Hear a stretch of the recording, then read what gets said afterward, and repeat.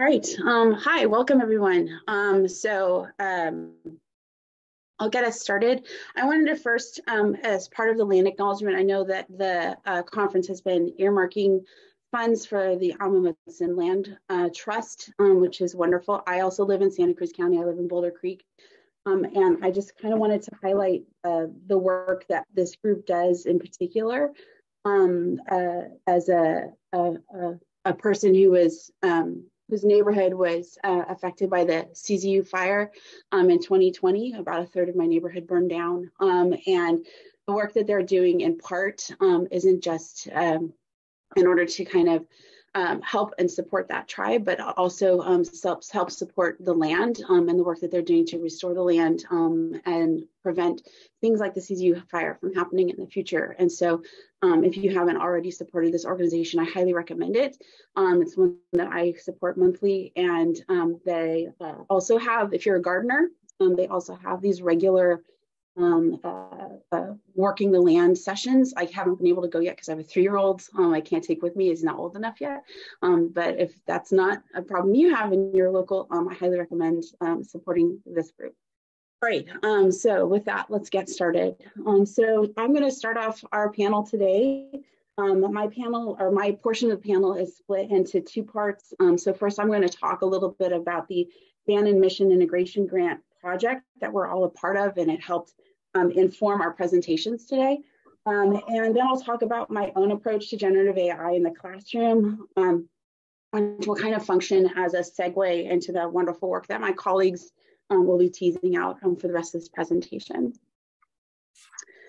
Um, so first, the Bannan Mission Integration Grant. Um, in December 2021, um, an interdisciplinary group of faculty and staff from the English department, the School of Engineering, and the library were awarded the Bannan Mission Integration Grant, um, which is awarded by the Santa Clara University Ignatian Center to support deeper integration of the mission and tradition of Santa Clara University into their teaching, research, or programs.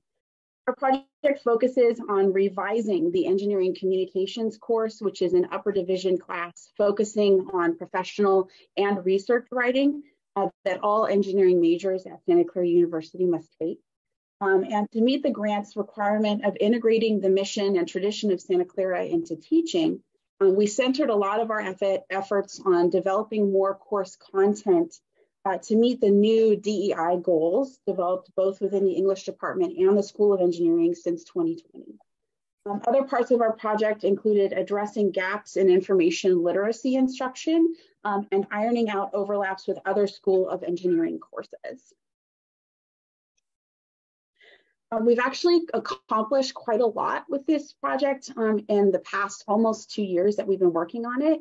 Um, so we've completed a course assessment um, and now the School of Engineering is undergoing a curriculum revision and so we're waiting for their response um, to that and some suggestions that we've made as far as things like core requirements. Um, so those requirements every student has to take and how they're affiliated with this class.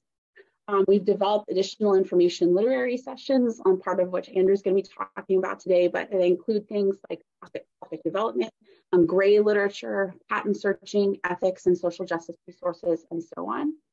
Um, we've hosted DEI-focused programs, um, such as the Women in Engineering STEM Dinner, um, as well as several guest speakers um, uh, that have been kind of coordinated through this grant. Um, we've brought more attention to DEI and social justice issues within the class itself. Um, so just adjusting and adding to our lesson plans and our assignments, some of those uh, kind of considerations as students work on their research projects. Um, and we've recently imp implemented methods for addressing the increased use of generative AI.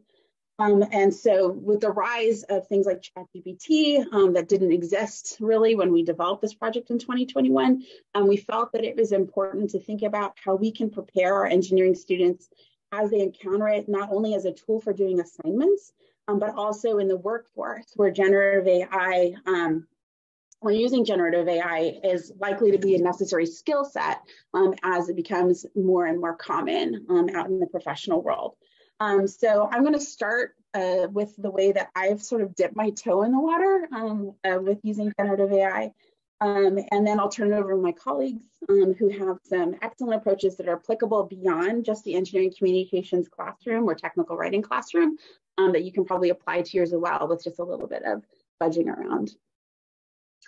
Right, so here's what I do. Um, um, I have for many years, um, uh, probably like six or seven years now, I've had my engineering writing students um, begin each quarter um, by developing their own style guide or their own writing standards um, that their assignments are measured against. Um, and so rather than it being me who kind of uh, articulates, okay, here are here's what I'm looking for, we kind of collectively as a group decide what we are looking for to create professional documents. Um, and so this guide includes, it originally included four categories, now includes five. Um, it includes audience, um, which includes cultural considerations respect, with respect audience, um, writing considerations. Um, so these are things like kind of like how you construct and how you organize your document. Um, uh, generative AI is sort of the new category, um, uh, and layout. I realize now that there are four categories. I clearly can't count right after I turn in grades. Um, it's a three class process to draft um, these writing standards. Um, so what we do is we begin each of the first three classes um, basically by defining one or two of the categories. And then I give like about 20 to 30 minutes of time for the students to just kind of collectively work on a Google Doc um, and develop the guidelines that they want to go by.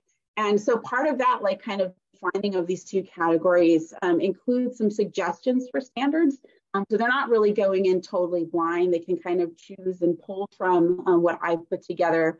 Uh, just having done this over the years, things that I think students of gravitate to and are useful for them, um, and you know things that I hope that they'll put in and pick out, of course, um, and they usually do. Uh, so so they kind of work from that like list and of suggestions and articulate it in their sort of own words. Um, and then after we do this over the course of about like a week, um, I will polish whatever they draft. Um, so kind of get rid of redundancies, make it sort of like a complete document. Um, I send it out to the students, and then in class and whatever the next class is, we'll vote to accept those um, as our style guide um, for the assignments that they'll be doing that quarter. And so, in addition to meeting whatever requirements like content wise that those assignments um, have. Um, I also judge them against the style guide. Are you meeting the style guide requirements? And it's really funny because they're often very good at um, meeting the content requirements, and I never have to like kind of ask them to revise and resubmit because um, I don't like grade. I do the um, I mark things complete or incomplete labor-based grading, and sort of I have them revise and redo things. And I always frame that in the like in the professional world, you're not going to turn things in and be like, oh well, maybe next time you're going to have to actually fix them. Um, uh, so that's what they have to do in this um, and so they, they're great at meeting the content requirements, um, but it's often just they forget about these writing standards that they've already developed themselves, which is sort of funny, but um, it makes it easier for them to kind of like have this checklist to go back and reflect on and, um, and make sure that they're using. Um, and so what I'll show over the next couple slides now are the results of that um, for my two sections this past quarter, what they came up with as far as the requirements and the style guide requirements um, for generative AI. Um, and so this is my first class. Um, and again, I gave them some example um, statements and uh, uh, other policies um, and other classes that they can sort of pull from. So some of this language does come from that. Um, but so ChatGPT and other generative AI cannot help you pass the course on its own. Um, accuracy, you need to fact check the content. Generative AI creates with research of your own. You need to credit the use of AI when generating text, keep track of exactly how you use ChatGPT or other AIs, um, review the content produced by AI to eliminate biases, um, be aware of cultural faux pas when relying on generative AI, be aware that OpenAI collects all conversations between users in ChatGPT, so you don't want to pass in company intellectual property or other confidential, confidential info into their database. AI content may be limited in its creativity and originality. And then from the second section, it's very similar. Um, provide attribution for use of AI, um, provide the prompt that you use, let your reader know that you're drawing on AI. Uh, only use AI when it's relevant for the audience and paper. Make sure you generate your own prompts, limit its involvement generating actual content such as thesis statements, body paragraphs, etc. Focus on using it for structure or templates that you can fill in put what AI generates in your own words and in a formatting style that meets your audience's needs and the document's purpose. review what AI generates to eliminate biases, and remember AI cannot adjust accurately for different audiences or cultures, and fact check what the AI generates. Um, so just a couple things I wanted to sort of highlight um, from what the students put together here. Um, is their concerns about bias kind of came through, I think, in both classes, um, especially with respect to other cultures. They're thinking, I have them thinking sort of like a company mindset. Like if you are part of a company and representing that company, um, uh, we need to sort of be considerate of all these different things. And so they were kind of aware of how those can affect their relations as like a representative of this company. Um, uh, they're thinking about audience, um, who they're targeting, um, and how ChatGPT and such AI aren't really uh, uh, uh, easy to use to sort of think about audience in that way. Um, they were both uh, interested in citing their use of AI. Um, and um, I really wanted to especially highlight one I hadn't really even thought of at all um, uh, is that uh, confidentiality, um, which I wasn't aware of as being an issue, um, but they were. And so they added it here into, into their standards. And I thought that was something that we don't often think about. And so they were able to sort of add that into the conversation too. Um, uh, so I found this all very interesting. And again, I'm just dipping my toe into sort of thinking about these things. And it worked really well with the writing standards throughout the quarter.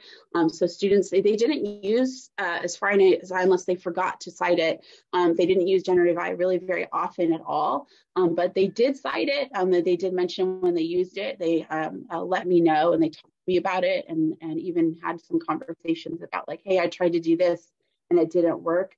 Um, and suggestions and have to go back and work with it. So um, it gave them sort of opportunity to familiarize themselves themselves with generative AI and use it as a tool um, because I opened that door, but they sort of set specific standards um, to make sure that they weren't um, kind of going too far, I guess, or or getting into trouble with it. Um, but with that, I will pass on um, to our next group on the panel. so yeah, I think that's Maura and Theresa. So I'll hand it off to you. Thanks. Thanks, Jackie. Um, and if you wouldn't mind um, advancing the slide.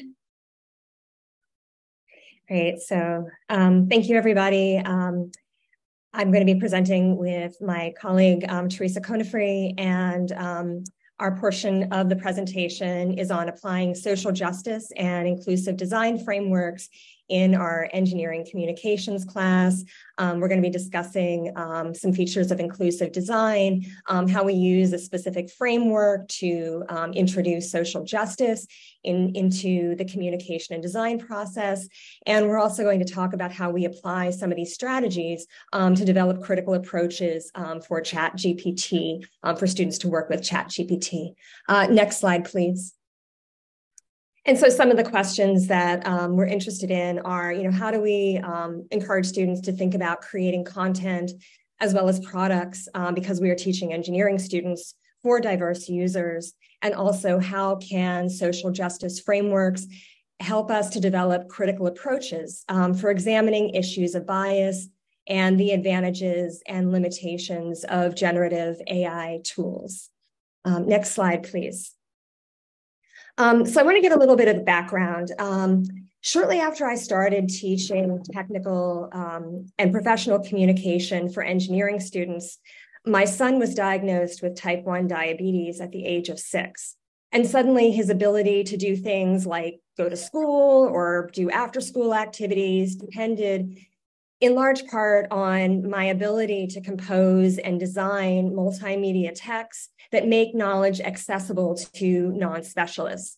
Access to things like going to camp um, often involves developing training and instruction documents, and at times calling out problems of bias and summarizing legal documents around reasonable accommodations, things that I've had to do just this week. Um, so, as a parent of a child with a chronic illness, my work with technical communication is really inseparable from the work of disability allyship and activism. And these lived experiences really shape the way that I teach and also how I ask students to think critically about the needs and experiences of diverse audiences and users, as well as whose interests and perspectives um, have been privileged or overlooked in communication problem definition and design processes. And so, you know, I, I, sometimes share this as an example, just as a kind of snapshot from some of the documents that I developed for my son. And I say, look, see, even I'm labeling my figures. I am numbering and labeling my figures. um, next slide, please. Um, in my class, we talk about um, how the communication landscape in tech um, tends to privilege whiteness among um, many other things. And one example that I give is um, the use of master and slave to talk about database architecture, um, basically where one device or process controls another.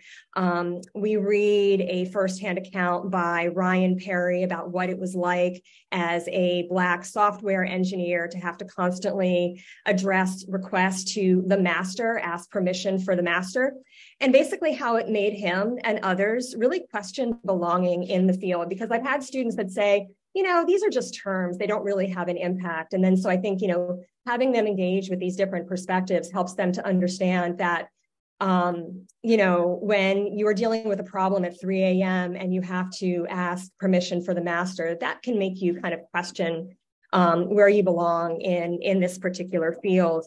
Um, in 2020, fortunately, GitHub finally announced that master would be replaced uh, with main.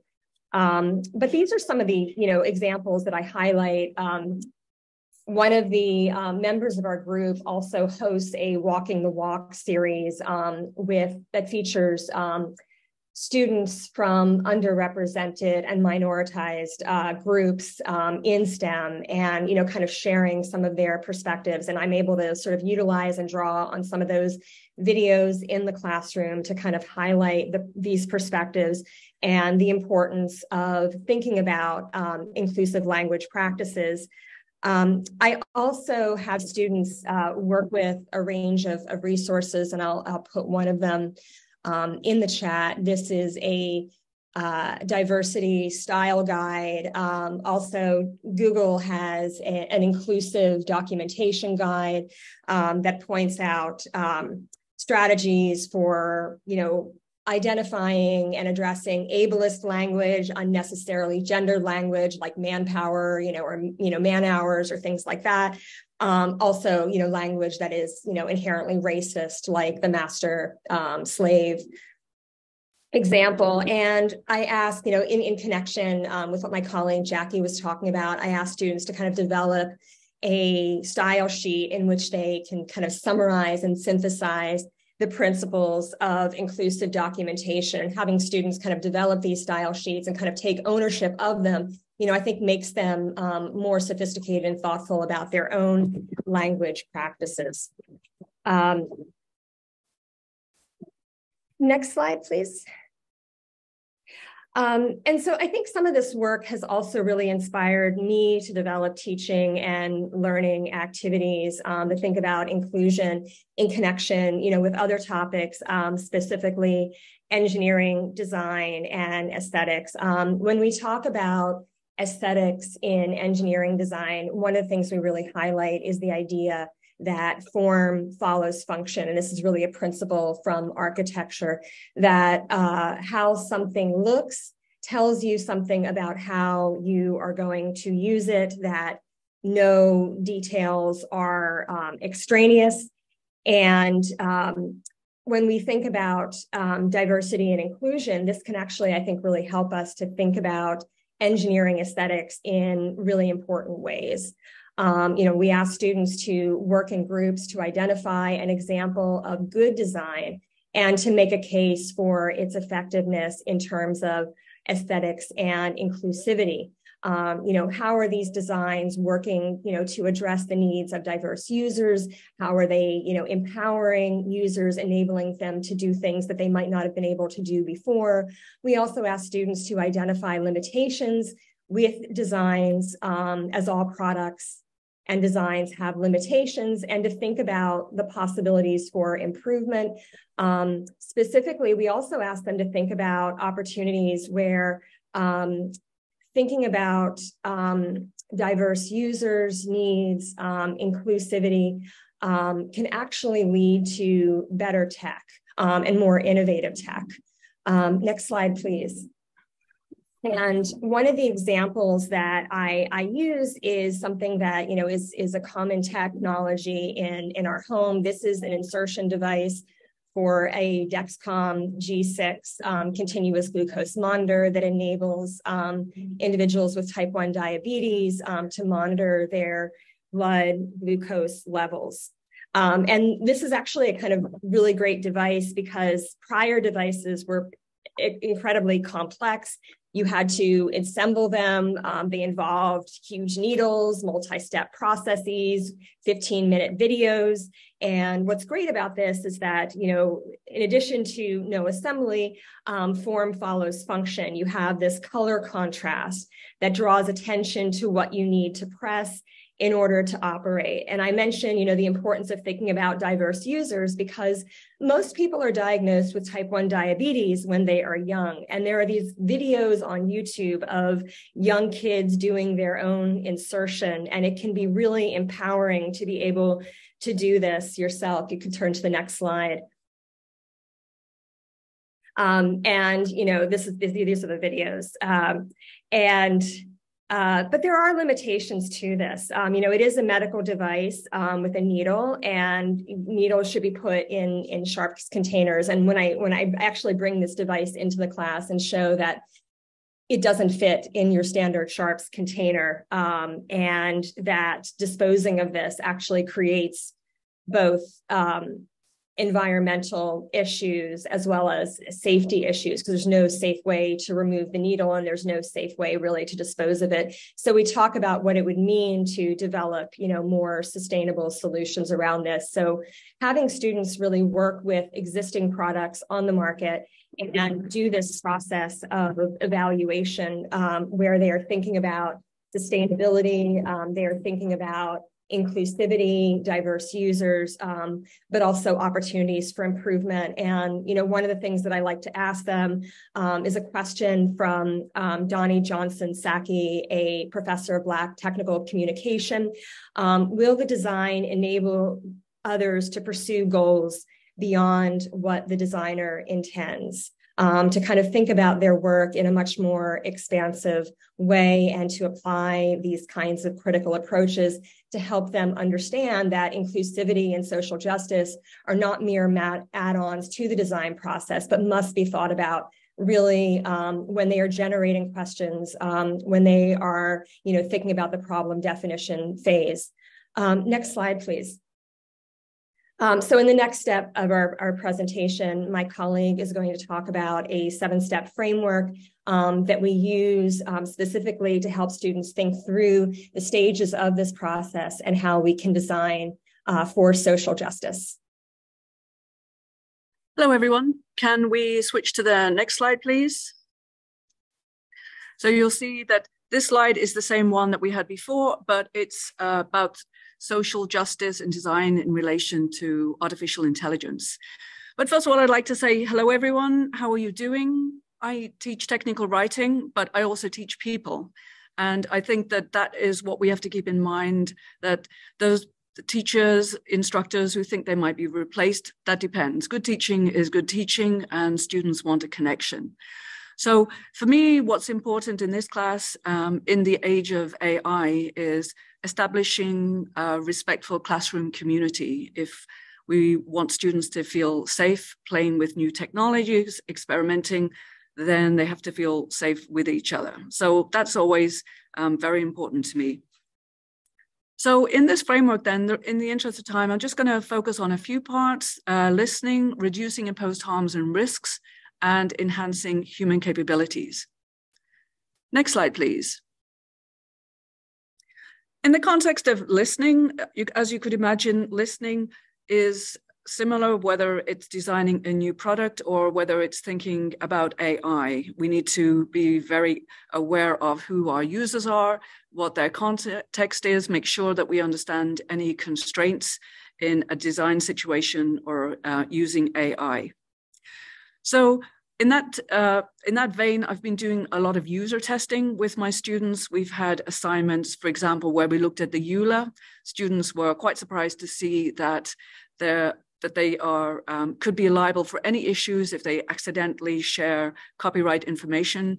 and so on, if they share inaccurate information, that if there are any consequences with using some of these AI technologies, they in fact would have to support the technology, support the companies rather than defend themselves. So that's kind of interesting to them. And then, of course, there are all the privacy issues. And then, um, as Jackie mentioned, we come up together with a list of how we might use AI in class, what ethical considerations we might have.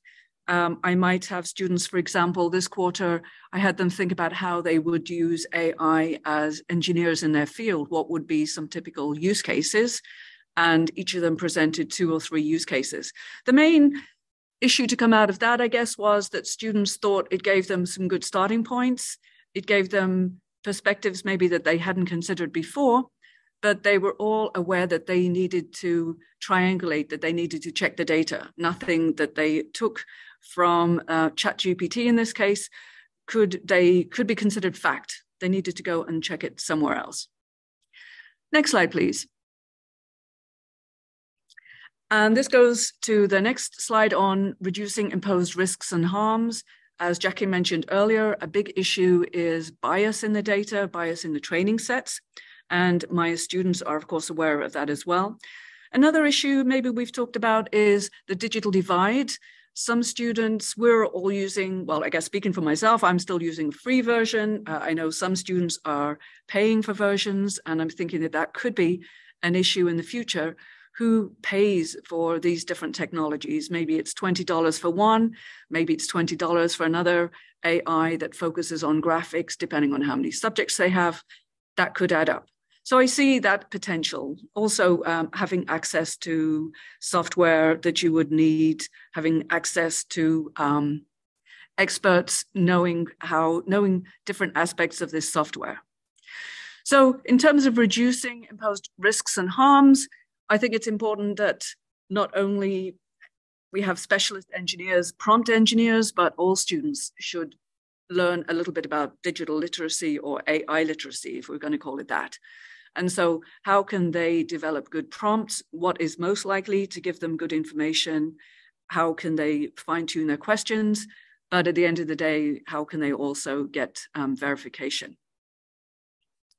And let's see, I guess you can, um, most of the issues that are on that slide we've talked about already maybe reducing the risk of offensive, harmful content. And I don't know if some of you have seen, there were newspaper reports showing how people in Africa, Kenya, I believe it was, uh, were being paid a pittance to check this kind of information. So that goes both to ethical considerations, who is benefiting from these technologies.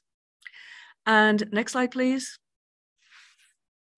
Yeah, so where I see um, the most interesting aspect of this technology is um, enhancing human capabilities. And this might involve getting more information more easily, more quickly, more efficiently about social justice, about whatever their concerns are. So, example, in the engineering class, some of the students are dealing with huge topics that can't be settled in class. Global, global warming, to name one, different aspects of that.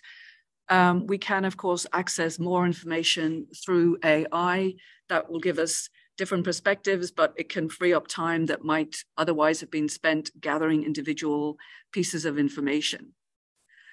And another aspect I see with AI is, um, I think I've put it down here on helping users to become more productive and personalized learning. So we all know that students have different needs, different ways of learning. Some of them have um, special needs, maybe they have issues with sight or with hearing and so on. And I can see lots of potential for assistive technologies for students as well um, using AI, that maybe they could come up with different ways of using that technology to help them study, to help them process information in class, and of course, to help them write papers, write research papers, which is mainly what I'm concerned about. But also, I think that in their free time, life isn't all school. Maybe um, it'll encourage more avenues for creative expression. So, on that um, optimistic note, and I see I want to make sure that I give enough time for our librarian, uh, Andrew, who has used AI with my students to very good effect. So, I'm going to turn it over to Andrew. Thanks. So, hi everyone. Uh, my name is Andrew Carlos. Uh, as Theresa has just mentioned, I'm one of the librarians at Santa Clara University, and specifically, I work with the School of Engineering. So, for my portion of the presentation, we're going to talk a little bit about social justice and information literacy, and also how we could use Chat GPT for information literacy instruction. So, if you could go to the next slide. Great. Um, so, there is a history of social justice in librarianship. Um, but traditionally, librarians or libraries were historically not welcoming of marginalized communities. So there's the history of segregated libraries. You might have heard of the Tougaloo Nine, who actually led a read in at a public library in Mississippi. And I think they were one of the first groups doing such doing that type of um, protests. And then there's also just generally a low number of BIPOC folks in librarianship. I think the current percentage is about 85% of library workers are white with a slight downward trend. I think they said in about 10 years, it'll be down to 83%. Uh, next slide. So the American Library Association has tried to really address social justice and human rights throughout its time. Uh, in 1962, they adopted a statement that said all state associations had to be open to everyone, regardless of race, religion, and personal beliefs. And this was a direct reaction to the Tougaloo Nine read in. Um, unfortunately, four states actually withdrew their membership from ALA. Um, so that's that's kind of interesting. Uh, in 1969, they started the Social Responsibilities Roundtable um, to try to make the organization and profession more progressive, and they also sponsor Spectrum scholarships to help recruit and train underrepresented and minoritized students. Uh, and locally, the SCU library is, we're working to define what a social justice library is and what it can do, really to help inform our work moving forward with our strategic plan and to also lead the profession forward. Uh, next slide, please. So I'm gonna do a little bit of an overview about critical librarianship um, these two quotes really spoke to me. Uh, so students must understand that the library's grammar of information are reflections of a particular worldview, Anglo, Western, Christian, and predominantly male. And one of the insights of critical librarianship since the 70s has been this acknowledgement that invisible and intellectual structures actually have a relationship to the material world of knowledge construction. And I think these two quotes really speak to the debate that I think comes up every once in a while among instruction librarians, and is that are we meant to just teach skills that already exist, help students exist in a dominant culture, or should they also see themselves as guides to discovering more democratic models that are representative of the actual world for our students? So next slide there isn't like a single organization that's really defined what critical librarianship is, but the following are kind of some general ideas that are, are, accepted to help define critical librarianship. So the first most important one is really that libraries are not neutral. You might have heard in the past couple of years, there have been a lot of discussions about how libraries should remain neutral and they should allow everyone to use their spaces, even organizations whose main goal is the eradication of an entire subgroup. Um, so that that discussion has, has been co- kind of going on a lot, and and realistically, we have to realize that libraries are not neutral. We may be nonpartisan, but we still have like a political stance to ourselves. Uh, we should hold our organizations accountable and interrogate its practices, structures, and systems. And we have to work to be anti-racist and address the ways that libraries replicate systemic harms. So next slide.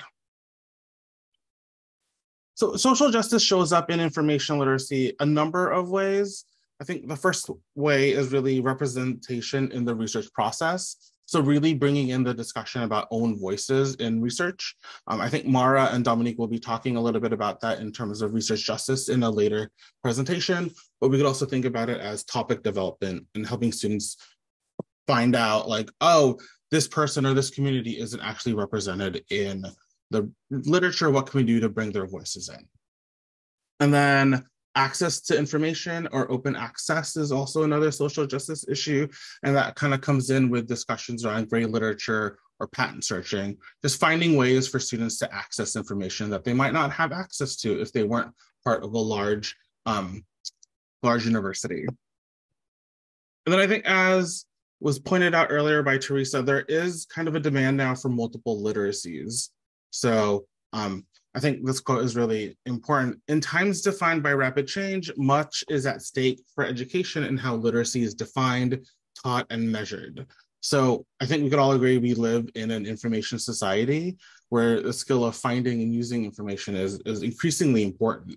So libraries have actually started focusing on multiple literacies. We're working on a data literacy program right now at Santa Clara University. We're really heavily involved in uh, supporting our information literacy outcomes at Santa Clara. At Santa Clara, and we're, we're constantly looking for other ways that we could support uh, learning for our students. And libraries have actually started using Chat GPT itself as an information literacy tool. Um, public librarians use it for readers advisory to help to help um, their community find additional books. Um, and academic librarians have used it as an opportunity to talk about citations and searching for information. So next slide, please. So when ChatGPT really came out, I thought to myself, what are some ways that we could use ChatGPT to help students surface related project uh, related ideas for their topics?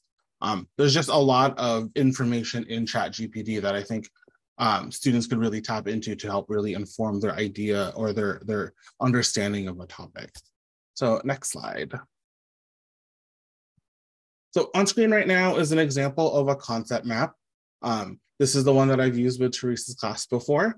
Uh, so in the center, there's the plant-based diet, and then branching off are different um, related topics. Um, I found that working with students to create concept maps really kind of helped them visualize what they already know. It could also be used as a tool to explain what they already know to their research partners. Um, at SCU, I started first by actually having students create these concept maps on paper.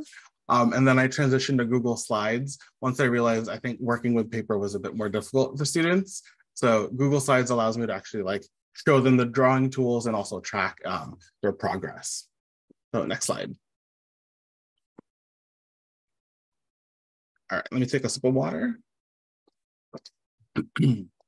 With the release of ChatGPT, I started wondering if I could create mind maps using it. I've always, like I said, I've always loved mind maps. And I kept running into the issue that ChatGPT only exports text, so we can't actually draw anything. But I eventually found out that you could actually tell it to, to output code in specific languages. So you could have it output uh, output Python scripts, output HTML for a website, things like that. Um, so I actually found out that there is a language called PlantUML that's that you could use to create concept maps. So the way the uh, activity goes is I ask students to log into ChatGPT if they feel comfortable, and if not, I could log in for them, or they could use um, their classmate login. And I have them include the following prompt into ChatGPT. Using PlantUML, create a concept map with topic in the center, highlighting related ideas and examples. And the most important part is the using PlantUML bit of the prompt, because this, this prompts ChatGPT to actually output code that can be used somewhere else. Once it's created their uh, code, students then go to plantuml.com and then they paste their code and the concept map comes to life. So you can see on the right-hand screen, actually created a concept map around affordable housing and solar power. This is all generated by ChatGPT. And if you use um, the prompts and actually input it into plantuml.com, it outputs like a really beautiful mind map. Like I could never draw something like that. My drawings are really bad. Uh, next slide, please. So previously, I actually had students compare their handmade concept maps to the ones made by ChatGPT. Um, but I found that it didn't actually get the outcome that I was hoping for. I was hoping that students would be able to identify the differences or similarities between their maps and the ones generated by ChatGPT. So now, rather than having them make two maps, I have them focus on the chat GPT one and I ask them to look for what appears to be missing or what is really interesting based on their own knowledge of the topic. And I also ask them to review the map for incorrect things or other avenues they could take their research on. So I think it's really important to also really highlight the incorrect things that Chat GPT is generating. Um, because as we know, it creates hallucinations or, or false information. So it's, it's good to have students start to critique the types of things that come out of Chat GPT. And so far in every session that I've led using Chat GPT, the question of citation has come up, uh, which is always like a perfect opportunity to have that discussion about the ethics of information use. So next slide, please. So a few ways that social justice and Chat GPT kind of go together, come thinking about it from like a library information science perspective, is, uh, as Theresa mentioned, there are versions of Chat GPT that require a subscription. So that's bound to create the haves and the haves not and like the digital divide. And the corpus that Chat GPT was actually trained on is predominantly English language. So should you ask it to try to generate something in a different language, it wouldn't be able to do that, or it would provide you like the incorrect translation. So those are, I think, some issues in terms of social justice and Chat GPT. And with that, quick little overview about librarianship and ChatGPT and social justice. So I'm gonna turn it back to Heather for our Q&A. Thanks everyone. Yeah, thank you. Round of applause for our presenters. You can use the uh, response function or feel free to clap into your microphone. Uh, we have about 18 minutes left, so plenty of time for discussion. So what would work best is if you'd like to ask a question, use the raised hand function, and that way I can see who's in the queue. Or if you're not able to speak and want to put your question into the chat, you can do it that way. I'd like to start us off with a question, if I may. That was, I just enjoyed so much of what you all said. I'm going to take us back to the beginning, which this is a question that might seem like it's it stands aside a little bit from the main part of your discussion, but I do want to hear more about it. And I'm going to be selfish and take the mic, which is you talked about doing some overviews of gray literature, um, like a seminar on it or talks on it. And I think this for me, gray literature is some of the most fascinating literature out there that students often don't think about in terms of research. I'd love to hear just a little bit more about what you did and are those resources available somewhere so that other institutions can use them. Um, I'd be curious to hear just a little bit more if somebody can speak to that. Yeah, I can speak to that a little bit. Thank you. Um, actually didn't create any like modules that are living online. They're all kind of just okay. notes and slides that I do. But we we found that really talking about gray literature is important because it, it also highlights to students that folks don't always have information to the access to the information that they need right? So I think that's where where gray literature really comes into play because you have um, like arXiv or bioRxiv or even things just like white papers from different corporations and just really highlighting like yes we have access to all these databases and we paid a lot of money for it so take advantage of it but once you leave once you don't have access to that you have to find ways to then access that that needed information to do the work that you that you want to do but I, I am working on creating a module that exists online for gray literature. I just haven't had the chance to do it yet. Well, it would be fantastic to hear more once you do. That's cool. Thank you. I've been relying on Cornell's resources until I can get something at UCSC. So, mm-hmm. other questions? I think to, oh, to yeah, add on to that a little bit, like one of the reasons that it became so important to talk about in our engineering communications class is because of their constant like when they're doing their research topics, they want the most recent stuff. So they're pulling from arXiv and all the other various like kind of preprint sites a lot. And so it was really vital to have that conversation. Um, and it was really helpful that we could kind of talk about it. And we can always kind of talk about it with the pandemic in mind too, and sort of some of the pitfalls that were public um, through using preprint sites and, and all that. So um, it became sort of like we we really kind of put that number one on Andrew's task list of like help us with gray literature uh, when when that was going. That's a good so I just put in the chat um, a uh, guide to gray literature from um, Princeton. This is just a Thank basic um, set of set of resources that to get started. That's great. Other questions that people have for any of the speakers?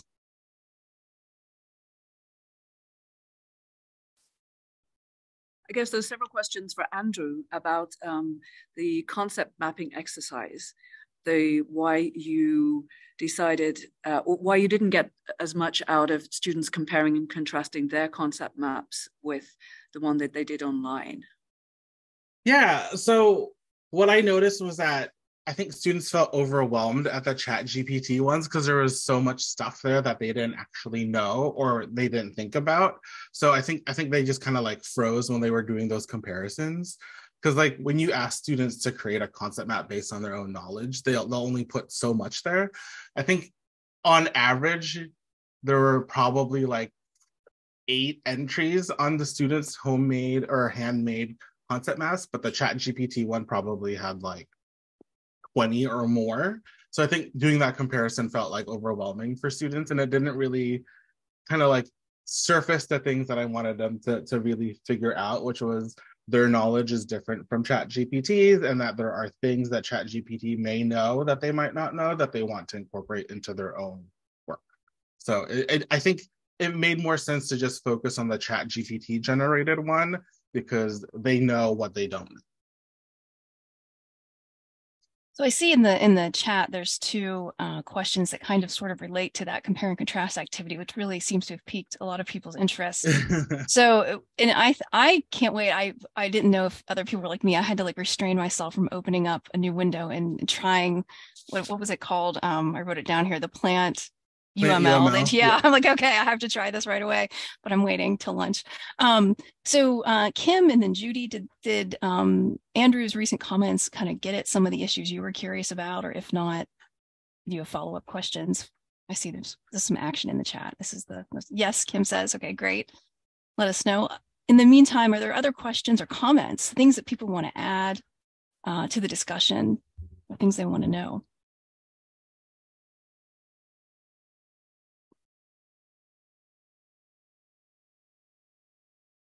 I have a question for the panel. Um, you know, we've been hearing a lot. Yesterday, we heard a little bit about Chat GPT.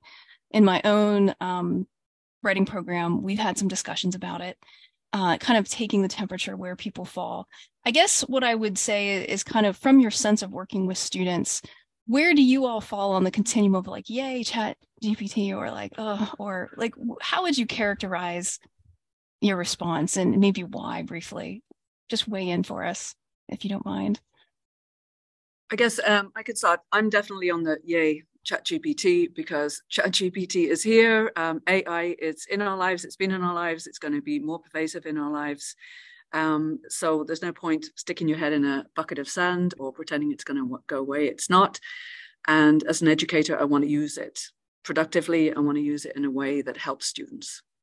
So yeah, I need to play with it. I want to become a prompt engineer myself. Oh, nice. I find it interesting that I think the students are a little bit more worried about it than I am. Um, uh, I had in my first year writing class, um, a couple, multiple students actually worked on um, AI and concerns they had with AI. One student ran a study where I don't know how they're in touch with all their old high school teachers, but they sent a, a sample of uh, work they did in high school on a chat gpt generated essay on the same topic and had the teachers try and figure out which is the actual student one and the actual chat gpt one. And he had like a good result of like i think like 60% of the teachers figured out which one was correct. But then he added a note but but imagine if you have 100 essays to read and you're not thinking about this question and you're really tired and want to get through it you're going to miss stuff um, and so he kind of brought, so I mean, he was kind of raising these concerns that, you know, like, I don't know, maybe I'm just like dated now. I'm just kind of past the concern of like, well, whatever. I don't have time to deal with your plagiarism.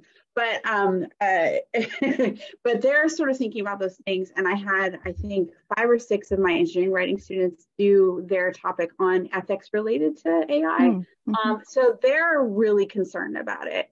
Um, uh, so it's it's kind of you know I like to kind of meet that energy at least um, and see where that's going. That's great.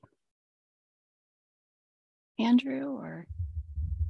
I had students uh, do an activity early on um, that I think really helped them to kind of clarify um, the limitations and advantages of ChatGPT once they were thinking about their research topic. Um, they were to ask ChatGPT to summarize current research and developments in that field, first for a non-technical audience and then for a technical audience. And one of the things that they found is that these summaries did help them to identify subtopics that they hadn't anticipated related to their topic. As an example, Um, I have them do computational creativity. And, you know, we look at some of the subtopics and talk about how that can really help to narrow down ideas.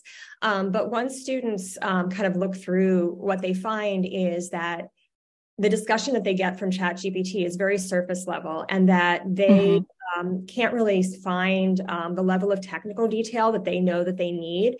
And when they know that they need to satisfy the needs of technical audiences in their report writing, they are usually able to come to the conclusion that ChatGPT is not going to help them pass the class. Um, and I think, you know, getting them to kind of reach that conclusion and to address those limitations, you know, has helped me to, I think, successfully um, you know, get them to assess the usefulness of it in the class. That's great. I think one thing one thing I want to add too is that we were in a recent Bannan integration grant meeting, and one of our colleagues had mentioned that her partner said we need to start training students to deal with AI in general because it's here to stay. Mm-hmm. It's going to be their work life moving forward. So I think I think making sure that they at least understand what goes behind it and what the outputs are are really important because that is going to be their future. That's a good point. I, I, like that. That's that's a useful talking point too. I think for some writing programs who might need to speak to this to other faculty. Uh, we've got two hands up, uh, Nicole and then Dan. Hi, thanks for the wonderful panel presentation. Um, and full disclosure, I'm also at Santa Clara University. So, but I'm curious. This is less about Chat GPT, um, but I feel like the model that you've used in this course, highlighting um, social justice and um, and tech and you know AI within that is such a great model that could be replicated in other departments. So I'm curious if you've um, had any um, any conversations or uh, any uh, interest from other departments in, in replicating this.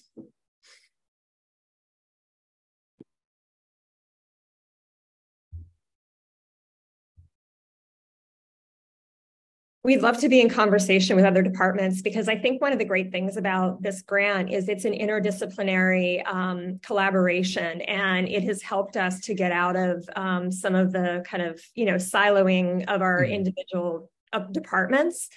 Um, and so I think that we're we're definitely interested in, in in expanding on on that collaboration. So we'd love to partner with others.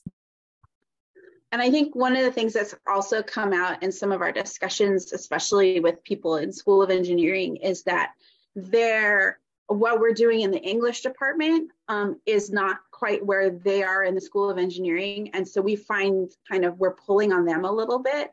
Um, and that hopefully will kind of create more of a ripple effect as well throughout the School of Engineering. Mm-hmm. Um, we're getting a little pushback too, but like it's still, um, uh, you know, I think that there's there's ways that this is already sort of having um, some connections across the university too. Right, Dan? Dory. Or Dory. Dory, yes. Panel. This is really, really interesting.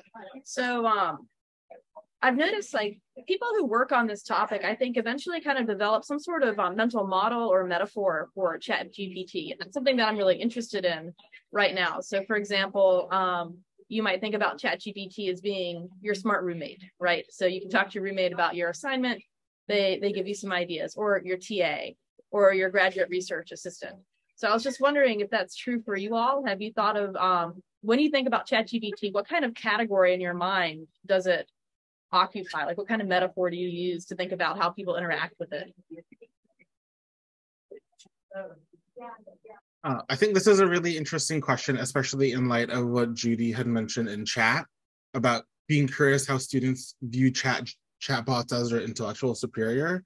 I I personally have always viewed AI as like an assistant or someone that'll help kind of augment my own abilities rather than someone who is like a superior to me. But I mean, I think it'll all depend once we hit that singularity and AI is actually better than us. But for the time being, I'm going to assume that it's just going to be my partner on the side. One of the things that um, we also do in this class, or at least several of us do, is we have uh, the students do a group presentation on a movie or a TV show that kind of raises some of these ethical issues about technology. And a lot of the popular movies are like Skynet, they robots are going to kill us all, sort of AI related kind of things, right? Um, and so, and part of that process, uh, they have to come up with sort of like, okay, well, what's happening in the real world that we need to think about that the movie is sort of kind of alarming us to. And so, yeah, Black Mirror is some of the options for sure. Um, uh, and so, one of the things that they sort of notice in the process of doing this is that, like, oh, yeah, we need to be kind of think about these questions that are being raised by the movie so we don't get to the point where, you know, we're having to get Arnold Schwarzenegger um, to come and take everybody down kind of thing. So, um, uh, so yeah, so, and, I have I always have groups that do Blade Runner in particular. Um, and so this and this isn't and I like Blade Runner still really works. They love it. Um, uh, so even though it's like almost as old as me, but it's um, uh, but that's kind of like a, a, really frequent discussion. And so it's in their minds that like they want to kind of keep it, I think, as an assistant. Um, and not let Skynet take over basically or the Matrix or whatever. But I think that you know we talk about those things as part of the over the course as well.